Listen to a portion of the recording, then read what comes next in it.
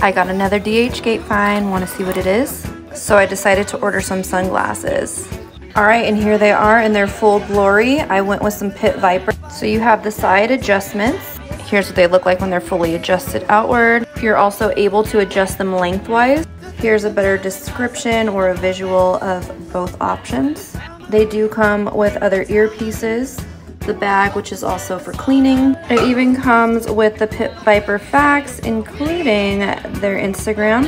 And it says that they are polarized. They have a nice rubber nose guard on them.